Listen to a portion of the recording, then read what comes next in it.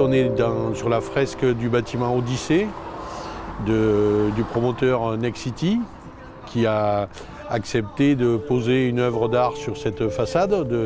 nous avons choisi Miguel Chevalier en accord avec, euh, avec la ville de Bagneux. C'est un honneur euh, donc, pour la ville de Bagneux euh, d'accueillir Miguel Chevalier qui a été donc, pour sa fresque installée donc, sur un bâtiment qui s'appelle l'Odyssée, qui est un bâtiment d'habitation et qui a été d'ailleurs choisi avec les habitants euh, de la ville. Euh, c'est vraiment un honneur d'accueillir euh, voilà, un tel artiste de renommée internationale à Bagneux.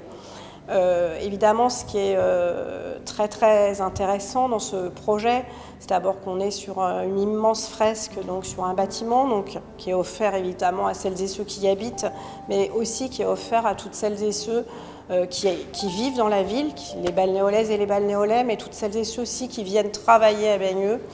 Donc c'est euh, voilà, une occasion, euh, j'ai envie de dire, exceptionnelle euh, de découvrir un artiste, mais aussi de découvrir du beau, parce que l'art dans la ville, c'est offrir du, beau.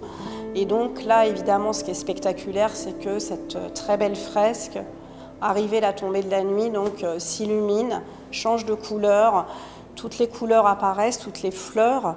Euh, apparaissent de manière différente. Et en fait, quelle que soit l'heure à laquelle vous passez le soir, vous avez euh, finalement jamais le même spectacle. C'est-à-dire que c'est une nouvelle œuvre finalement à chaque moment où vous pouvez déambuler dans la ville.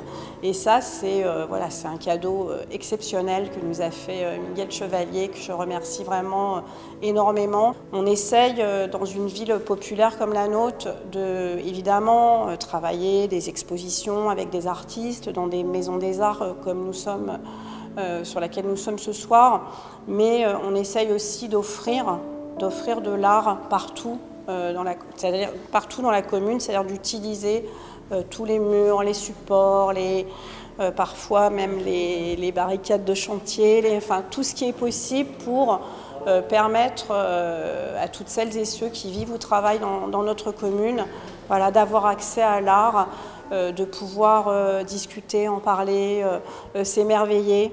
Et c'est ça qui est important et qui est, je crois, réussi avec la belle fresque de Miguel Chevalier.